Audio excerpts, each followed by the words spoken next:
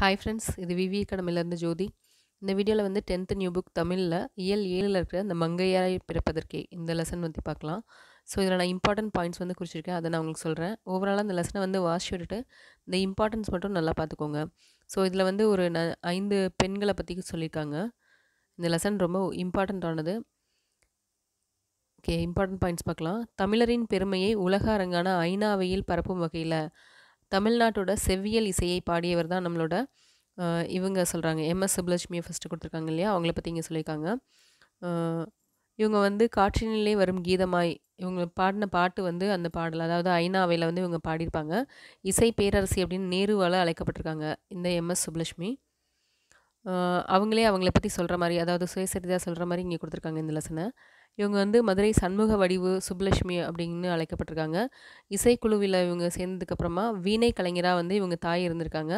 இவங்களோட முதல் குருவே வந்து இவங்களோட தாய் அப்படின்னு சொல்கிறாங்க ஐந்தாம் வகுப்பு வரைக்கும் தான் படிச்சிருக்காங்க. பதினேழு வயதில் வந்து சென்னை மியூசிக் அகாடமியில் வந்து பலர் முன்பு வந்து இவங்க கச்சேரி நடத்தியிருக்காங்க. அடுத்ததாக மீரா திரைப்படம் அதுலேயும் கூட இவங்க இசையில் வந்து இது பண்ணியிருக்காங்க. அது வந்து மிகப்பெரிய வெற்றி அடைஞ்சதாக சொல்லியிருக்காங்க. அதே மாதிரி காற்றினிலே வரும் கீதம் பிருந்தாவனத்தில் கண்ணன் இதெல்லாம் வந்து இவங்களோட பாடிய பாடல்கள்.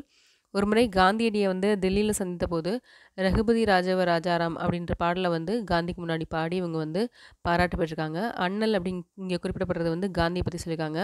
அவங்க அதாவது காந்தி வந்து சொல்லியிருக்காரு மீரா எழுதிய பாடல் ஒன்றை குறிப்பிட்டு பாட சொன்னார் அப்படின்னு சொல்லியிருக்காங்க. காந்தி வந்து இவங்க கிட்ட கேட்டுக்கிட்டதா? சென்னை வானிலை அந்த பாடல் வந்து ஆயிரத்தி தொள்ளாயிரத்தி நாற்பத்தி ஏழில் காந்தியடிகளோட பிறந்த நாள் அன்று ஒளிபரப்பப்பட்டது அப்படின்னு சொல்லியிருக்காங்க.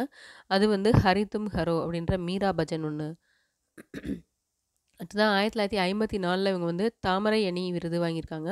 என்னை தொட்டு தடவி பாட பாராட்டிய பார்வையில் இருந்த ஹெலன் கெல்லர்.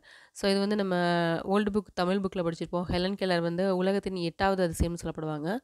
ஸோ இவங்க வந்துட்டு ஆயிரத்தி தொள்ளாயிரத்தி அறுபத்தி மூணில் இங்கிலாந்திலும் ஆயிரத்தி தொள்ளாயிரத்தி அறுபத்தி ஆறில் ஐநாவையிலும் வந்து இவங்க பாடியிருக்காங்க. ஸோ ஹெலன் கெல்லரை பற்றி இவங்க கொடுத்துருக்காங்க. அவங்க வந்து இவங்களை பாராட்டினதாக சொல்லியிருக்காங்க. அடுத்தது ஆயிரத்தி தொள்ளாயிரத்தி எழுபத்தி நாலில் நோபல் பரிசுக்கு இணையான மகசேச விருது. இது எதுக்காக இவங்களுக்கு கிடச்சதுன்னா இசைக்கலைஞராக முதல் விருதா அதாவது முதல் முதலாக இசைக்கலைஞராக இந்த விருதை இவங்க வாங்கியிருக்காங்க.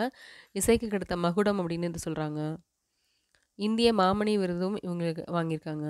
ஸோ இவங்க வாங்கின விருதெல்லாம் பார்த்துக்கோங்க. எந்த இயரில் வாங்கியிருக்காங்கன்னு பார்த்துக்கோங்க. அடுத்ததாக இவங்களோட ஃபேமஸான ஒரு பாட்டு இந்த பாடல் உங்களுக்கு தெரிஞ்சுக்கோங்க குறையொன்றும் இல்லை மறைமூர்த்தி கண்ணா அதையும் கொடுத்துருக்காங்க.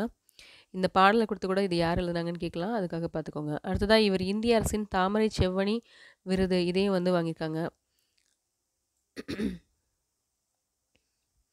அடுத்ததாக வந்து நம்ம பால சரஸ்வதியை பார்க்குறோம். ஸோ இவங்க தான் வந்துட்டு தாமரை செவ்வணி விருது வாங்கி வாங்கியிருக்காங்க.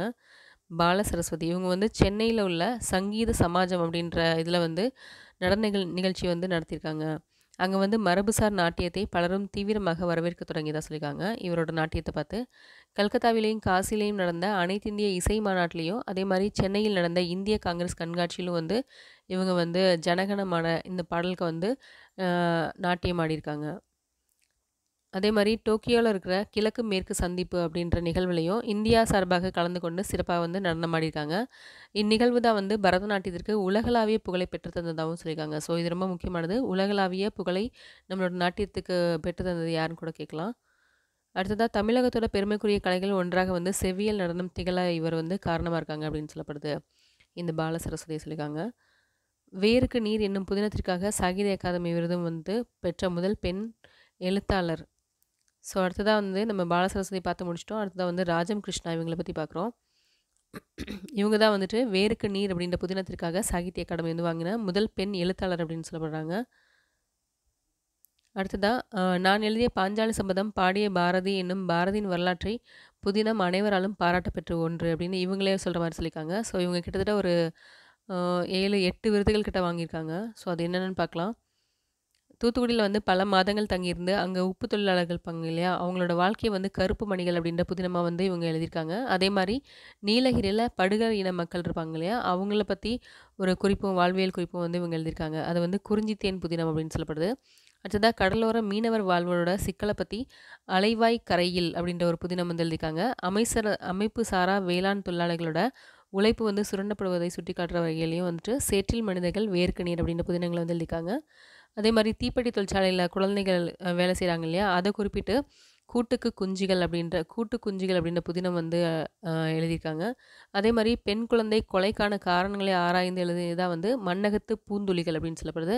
ஸோ இந்த ஏழு கிட்டத்தட்ட எட்டு இருக்குது இந்த வேர்க்கு நீரும் சேர்த்து. இந்த எட்டு புதினமும் வந்து என்ன ரீசனுக்காக எழுதியிருக்காங்கங்கிறதையும் நல்லா பார்த்துக்கோங்க. அடுத்ததாக கற்பனை கதைகளை எழுதுவதற்கு பதிலாக களத்திற்கு சென்று உண்மையான நிகழ்வுகளை நூல்களாக தொகுத்தம் ராஜகிருஷ்ணன். இவங்க வந்து உள்ளவளுடன் இன்று வரை களத்தில் நிற்கும் போராளின்னு சொல்லப்படுறாங்க.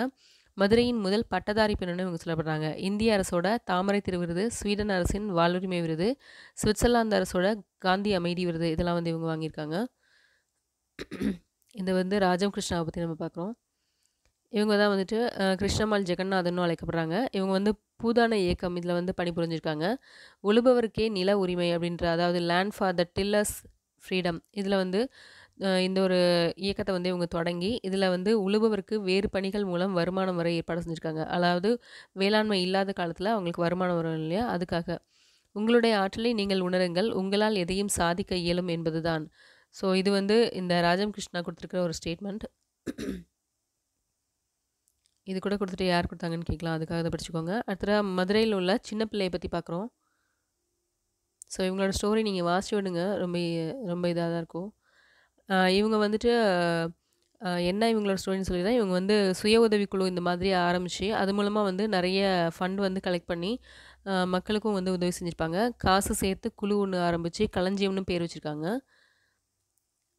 அதே மாதிரி இவங்களோட இவங்க வந்து வாஜ்பாய் பிரதமராக இருந்தப்ப வந்துட்டு, இவங்க விருது வாங்கியிருப்பாங்க. ஸோ அந்த நிமிஷத்தில் வந்து டெல்லியில நடக்கும்போது, வாஜ்பாயே இவங்க கால்ல விழுந்திருப்பாரு. ஸோ அந்த நிகழ்வையும் இங்க குறிப்பிட்டிருக்காங்க. வாஜ்பாய் அவர்களோட கையால வந்து பெண் ஆற்றல் விருது, அதாவது ஸ்ரீ சக்தி புரஸ்கார் அப்படிங்கிற விருத வாங்கியிருக்காங்க. அதே மாரி தமிழக அரசோட அவ்வை விருதும், தூர்தர்ஷன்ல இருந்து பொதிகை விருதையும் இவங்க வாங்கியிருக்காங்க. தாமரை திரு விருதையும் இவங்க வந்து வாங்கியிருக்காங்க. ஸோ இதுக்கப்புறம் உங்களுக்கு வந்துட்டு இலக்கணம் வரும். அது அடுத்த வீடியோல பார்க்கலாம் ஃப்ரெண்ட்ஸ். Thank you.